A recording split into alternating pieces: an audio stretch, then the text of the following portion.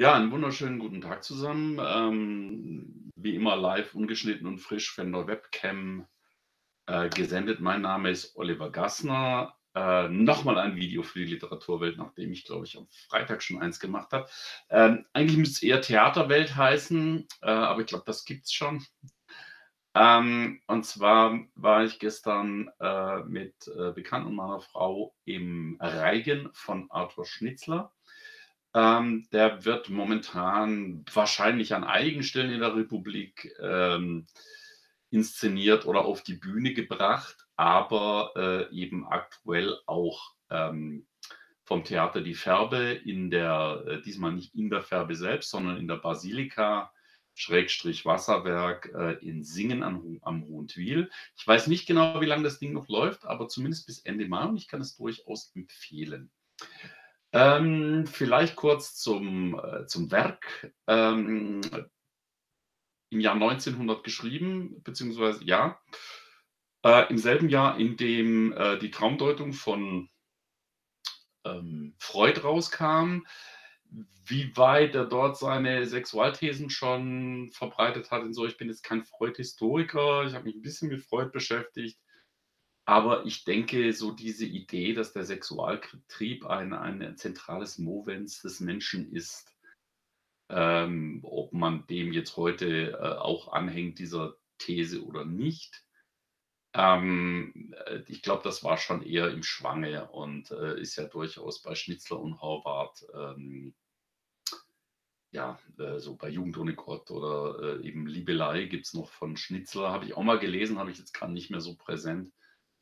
Ähm, das ist ja durchaus ein, äh, ein zentrales Thema. Äh, also im Jahr 1900 geschrieben, im Jahr 1930, wenn ich oder 1920, ich glaube 1920, äh, das erste Mal aufgeführt. Und es gab da wohl einen so riesen Krach, dass, äh, also und Skandal und so weiter, ähm, wegen diesem Stück, ich werde gleich den Inhalt mal noch skizzieren, dass Schnitzler äh, das aus der Öffentlichkeit zurückgezogen hat. Und ich meine, es sei erst 1982, wenn ich mich jetzt recht entsinne, wieder freigegeben worden.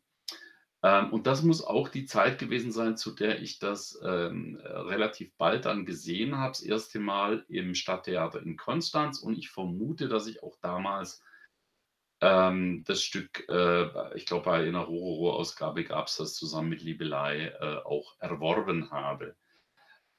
Ähm, so, worum geht es in dem Stück? In dem Stück geht es sozusagen um eine Verkettung, ein Reigen, also eine Grundverkettung, ein, ein, eine, eine äh, Verkettung, bei der ein Glied in das andere greift, äh, wobei, ja gut, also ein Kettenglied in das andere greift. Und ähm, äh, eben eine Reihe von ähm, sexuellen Begegnungen zwischen Männern und Frauen wobei interessanterweise auch ähm, auf ein homosexuelles Verhältnis angespielt wird. Da weiß ich jetzt nicht so genau, ob das im ursprünglichen Text ist, aber ich würde es erstmal nicht ausschließen. Und ähm, genau, und also es geht also los, äh, die, die Prostituierte ähm, mit dem Soldaten, der Soldat mit dem Stubenmädchen, das Stubenmädchen mit dem jungen Herrn, der junge Herr mit einer jungen Frau, aber die junge Frau eines anderen Mannes, äh, die junge Frau des anderen Mannes mit ihrem Ehemann, der Ehemann mit der Schauspielerin, kann es sein, weiß ich jetzt gar nicht mehr. Auf jeden Fall ähm, äh, gibt es also immer diese Szenen, die auch so überschrieben sind, also der Ehemann mit der und der Person. Und ähm, da kommt dann noch ein Künstler vor, die Schauspielerin, ähm, und so weiter. Und natürlich endet es dann am Schluss wieder, dass äh, der ähm, äh, ein Graf, äh, der vorher mit der Schauspielerin verkehrt hat, dann äh, am Schluss dann wieder eine sexuelle Begegnung mit der äh, Prostituierten vom Anfang hat. Ähm, das ist so grob der Inhalt und es werden einfach verschiedene Dinge thematisiert, äh, Liebesschwüre, Vergewaltigungen, wenn man das so will. Ähm, junge Frauen, die sich vielleicht auch auf diese Art ähm, einen gewissen Wohlstand sichern, manchmal sichern müssen. Äh, interessanterweise auch so die, auch diese, diese Perspektive, ja, der Mann, der muss ja sich die Hörner abstoßen, während die Frau, äh, die bürgerliche Frau äh, eben die, die Aufgabe hat, sich da äh, unberührt in die Ehe zu begeben und so weiter und so fort. Wie ist das jetzt in, äh, in Singen inszeniert? Fangen wir mal beim Bühnenbild an.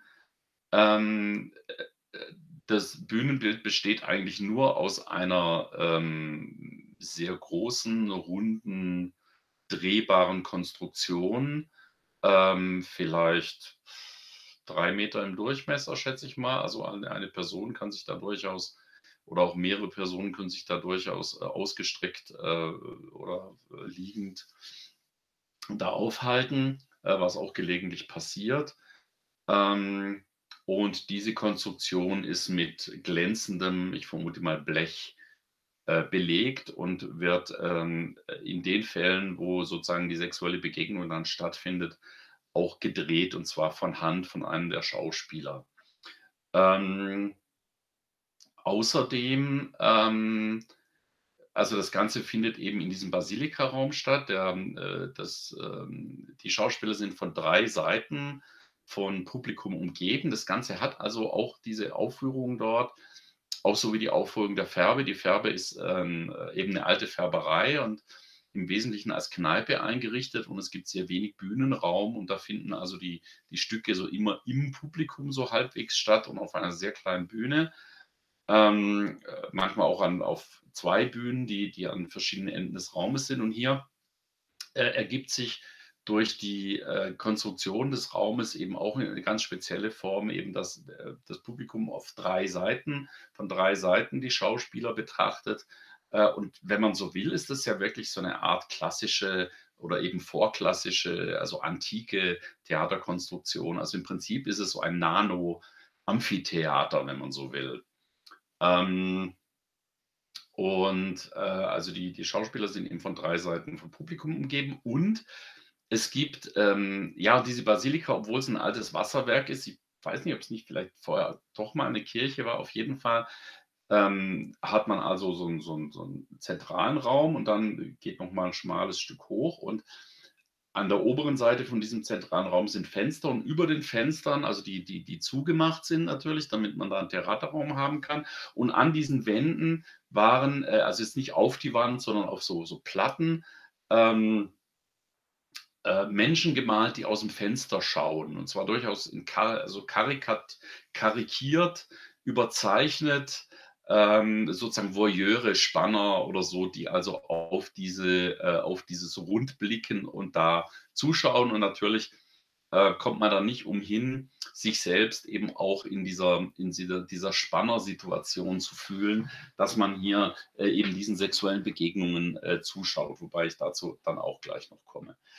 Ähm, so viel also zum Bühnenbild. Außerdem ähm, gibt es eben ähm, der Hintergrund des, äh, der, der, Theaterbühne ist eigentlich ein Durchgang, eine, eine, Schwingtür, die dann auch zu dem Raum führt, wo, wo man, also zum Foyer, also das Foyer ist sozusagen hinter der Bühne, was auch immer ganz interessant ist. Und die Bühne dort in diesem Raum hat in dem Sinn, ähm, also ich war jetzt in zwei Aufführungen, da war es in beiden Malen so, in dem Sinn keinen kein Bühnenhintergrund. Also es ist äh, eine, wirklich eine spannende Konstruktion für, ein, für eine Bühne. Ähm, also es gibt eben in dem Sinn keine Kulisse, hinter der die Leute vorkommen, sondern kommen eigentlich immer durch diese Schwingtür. Ähm, ja, äh, so viel zum Bühnenraum und zur, zur Wandgestaltung. Ähm, dann mal so zur Grundkonzeption der Aufführung. Das ist am Anfang etwas irritierend, weil es heißt eben, der Soldat und die, ähm, und die, die Dirne und da stehen dann, also die, die beiden Schauspielerinnen, die, die Namen habe ich jetzt nicht gerade nachgeguckt. Ich glaube, das eine ist Milena Weber. Ich, ich gucke es mal parallel nach. Ähm, äh, und ich muss zugeben, bei den Männern, die verwechsel ich immer, die Schauspielerinnen sind äh, akzeptabel äh, verschieden. Die Männer, da ist einer größer, einer kleiner, vielleicht komme ich da drauf. Und es ist aber manchmal auch nicht so ganz, äh, mal gucken, Theater, Vorbereitung, Geschichte, Öffnungszeiten. Ich suche eigentlich die, die Schauspieler, finde ich jetzt hier nicht so richtig. Ähm,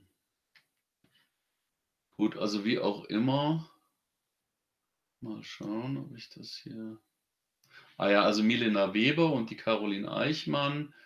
Und dann gibt es noch den äh, Elmar Kühling und eben noch mal einen anderen. Äh, den Elmar Kühling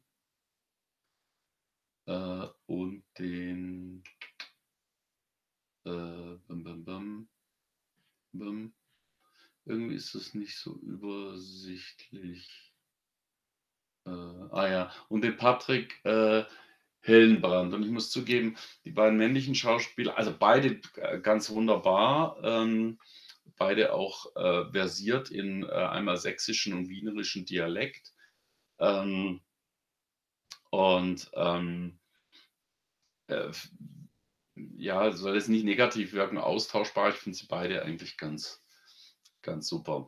Ähm, also eben äh, Milena Weber und, und die, und die, ähm, und die Nina Caroline äh, Eichmann. Eichmann.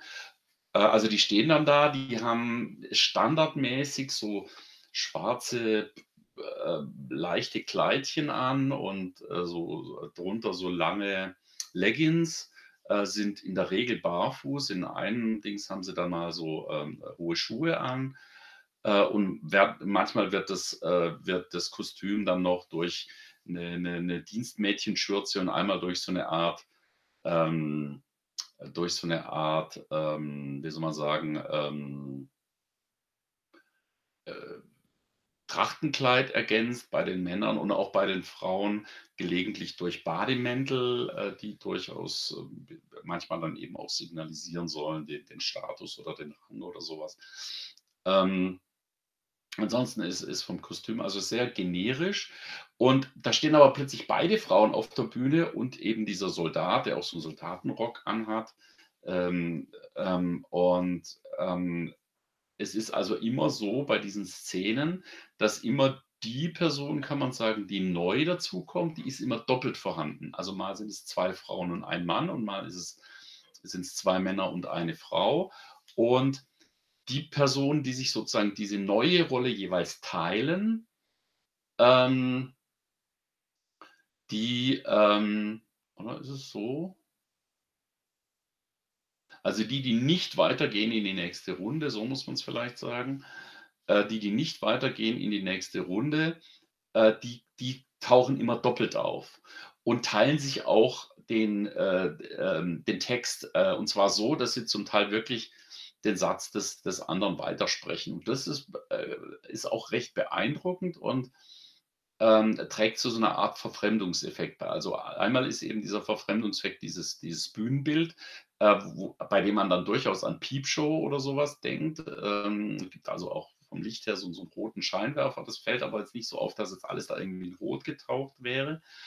Ähm, und es gibt eben diesen Verfremdungseffekt durch diese generischen äh, Kostüme und den Verfremdungseffekt dadurch, dass immer eine Person doppelt vorkommt ähm, in, diesem, ähm, in dieser Szene.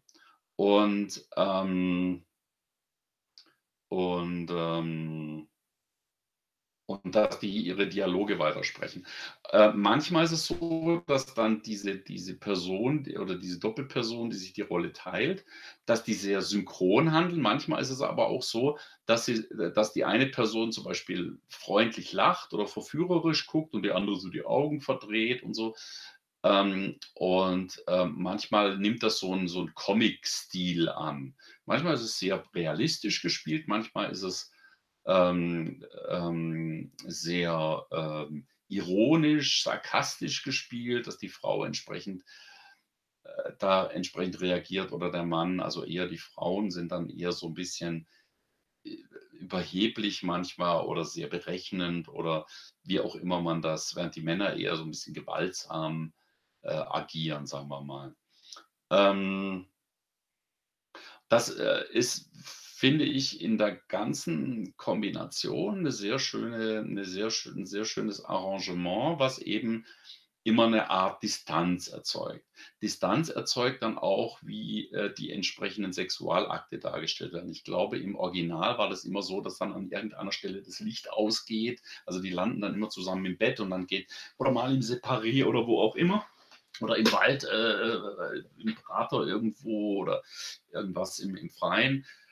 Und da geht, äh, also so aus der also Inszenierung, ich kenne, ich habe jetzt also nicht nur mal einen Text geguckt, dann geht dann da das Licht aus und hier ist es aber eher so, dass die ähm, zum Beispiel zwei der Personen einfrieren und sich in einem Fall, also meistens in so einer Art Prä-Vorspielartigen äh, äh, Situation. Also es werden natürlich schon dann irgendwelche Bewegungen gemacht oder irgendwelche äh, sekundären Geschlechtsmerkmale hervorgehoben oder manchmal auch so ein bisschen infantil äh, kommt dann einer und hat eine äh, so ein, so so so äh, wie heißt das, ähm, ähm, eine Wunderkerze, die er halt als Penis da vor sich hin hält oder oder ein anderer greift ihm so zwischen, zwischen die Beine und äh, macht da mit der Hand irgendwas, also so von hinten durch. Und äh, also es gibt dann so, so, so, so Phallus-Symbolik und so weiter und so fort. Ähm, aber ähm, sozusagen der, der eigentliche Sexualakt wird eigentlich nie in dem Maße ähm, dargestellt, sondern äh, oder, oder es gibt dann äh, auch Lieder zwischendrin, die eingeblendet werden, wo dann äh, gerade eher die Männer noch äh, entsprechende Beckenbewegungen dazu machen ähm, und so weiter und so fort. Ähm, aber ähm, also der eigentliche Sexualakt wird jetzt nicht nachgestellt, also dass sozusagen dieser Voyeurismus ähm, im, äh, sich sozusagen das einbilden muss, was jetzt da passiert. Und es wird der eigentliche Sexualakt immer in einer Art Symbolik dargestellt. Ähm, manchmal eben durch zwei unbewegte Personen und eine Person, die sich dann in einem Fall, wie gesagt, stöhnend da wälzt. Aber das ist manchmal dann auch so eine Art, ähm, oder in einem Fall hüpfen die beiden Frauen so, ähm, also ob sie auf dem Mann sitzen würden oder so. Aber das hat alles eher so eine Art Comic. Charakter oder Slapstick-Charakter. Also nicht immer durchgehend, sondern das ist einfach je nach Szene mal so, mal so dargestellt. Ähm, und eben während der eigentliche Geschlechts, Geschlechtsakt im Kopf der Zuschauer, wenn man so will, stattfindet, wird eben dieses, dieses Piepshow, diese Piepshow-Runde äh, gedreht. Ähm, äh, wie gesagt, ich finde das alles und insgesamt sehr, sehr gelungen. Die Schauspieler sind wirklich total, total top. Ich habe die jetzt das erste Mal, also ich war damals in der allerersten Aufführung von, von der Färbe und es war damals Warten auf Godot äh, 79. Ähm, also ich meine zumindest. Ähm, und äh, also da war ich zarte 15, 16 Jahre alt äh, und hatte das Stück aber auch schon gelesen, meine ich, oder habe es danach gelesen. Wir hatten so ein Sammelband mit, mit, mit, mit äh, ähm, Texten von Nobelpreisträgern und da war das auch drin von Beckett. Ähm, und ich war jetzt ganz lange nicht, weil wir auch nicht hier in der Region waren und wir waren jetzt äh, insgesamt äh, zweimal in letzter Zeit. Ähm, ich finde, das, das, das Schauspieler, das Ensemble ist ganz wunderbar. Ähm, also wird ja wirklich mit minimal, letztes Mal waren noch zwei Leute, glaube ich, sozusagen zugebucht als, als, als Schauspieler. Ähm, diesmal war es eben die, die, diese Vierer-Kerntruppe. Ähm, also ich finde die Schauspieler äh, ganz wunderbar. Ich äh, finde, dass die immer wieder sehr spannende Regisseure äh, holen. Den habe ich jetzt nicht erwähnt, aber den könnt ihr euch googeln. Es war auch jemand, der vor vielen Jahren, das heißt, ich gucke gerade mal, äh, das ist ähm, bum, bum, bum, äh, Andreas von Stuttnitz, der offenbar auch in ganz vielen anderen, also ich bin kein Theaterkenner oder so. Ich komme aus der Literaturecke und habe halt wirklich viel mich mit Theater beschäftigt, aber nicht kein aktueller Kenner der Theaterszene. Ähm, äh, der früher auch schon äh, für die Färbe inszeniert hat, die jetzt hier zurückgekommen ist. Und ich finde es insgesamt extrem gelungen und so weiter und so fort. Man könnte den Hauch kritisieren, dass wir wirklich um 20.30 Uhr auch an einem Samstag erst anfangen. Dadurch zieht sich der Abend schon und man, man wird doch vielleicht, je nachdem, wann man aufgestanden ist, äh, dann gegen Ende doch ein Hauch müde. Aber, ähm, aber ähm, ansonsten ähm, ich finde es ganz, ganz gelungen und wenn sich jemand also für, ähm, für Theater in, im Kleinformat und wirklich nahe an den Leuten, also man sieht wirklich jede Bewegung, jede, je, die ganze Mimik und so, das ist also wirklich ähm, äh, ganz wunderbar und die, die Schauspieler können, glaube ich, auch ganz anders agieren, als wenn sie sozusagen einen 400 äh, Personenraum mit der Stimme füllen müssen. Äh, also ich finde es äh, vollkommen, vollkommen ähm, Also ich finde es, ich finde es gelungen und äh, man kann jetzt dann, könnte jetzt noch Sachen zu MeToo sagen und so. Und in der Tat spielt Machtgefälle in diesen ganzen Szenen eine Rolle. Ähm, die haben, glaube ich, auch im Text irgendwie was gesagt, so nach dem Motto, dass, äh, wie haben sie das hier gesagt? Ähm, ähm, Bum, bum, bum, wie haben sie denn hier? Ähm, äh, Arthur Schnitzler schuf mit psychologischem Tiefblick und entlarvenden Dialogen die Archetypen des modernen, triebgesteuerten Menschen. Ein Blick in die Tageszeitung, in die eigene Verwandtschaft genügt, um festzustellen, dass die Mechanismen von Betrug und Selbstbetrug, von öffentlichem Schein und menschlichem Sein doch die gleichen sind wie vor 100 Jahren. Also das ist, ähm, äh, also äh, ich weiß nicht, ich habe das Programm jetzt nicht gekauft, ob da vielleicht ein Bezug zu MeToo noch hergestellt wird. Aber äh, MeToo, da geht es ja jetzt nicht nur einfach um Männer, die Frauen irgendwie als Objekte betrachten, sondern es geht ja um Machtgefälle. Und das spielt natürlich hier auch an der einen oder anderen Stelle eine Rolle, auch wenn es umgedreht wird, die, die Schauspielerin sozusagen den Grafen äh, an, an äh, an, an, an seidenen Fäden sozusagen führt und sagt, du verhältst dich jetzt so und du machst jetzt dies und du machst jetzt jenes. Ähm, also ähm, ja, also da ist sicher auch eine gute Diskussions- und, und, und Reflexionsfolie für diese aktuelle Diskussion. Jetzt ist das durchaus nicht ganz kurz geworden hier. Vielleicht interessiert es euch trotzdem und wenn es euch dazu motivieren würde, a, in, ähm, in den Reigen von Schnitzler in der Färbe in Singen am Hohenwil zu gehen oder überhaupt wieder ins Theater zu gehen und vor allem vielleicht ein kleine Theater.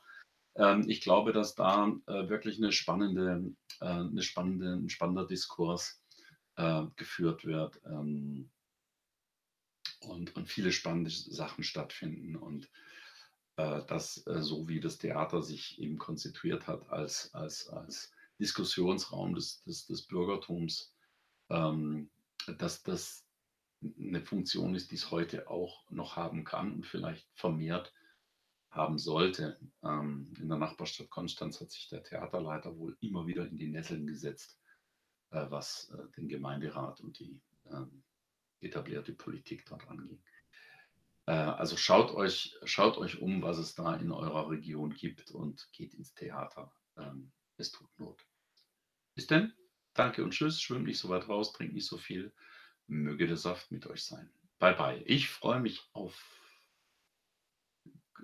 Kanalabos bei YouTube. Ich freue mich, wenn ihr ein Däumchen nach oben gebt. Ich freue mich, wenn ihr abonniert habt und dann auch noch das Glöckchen drückt. Dann verpasst ihr auch die sonntäglichen Livestreams nicht mehr. Danke und bye bye.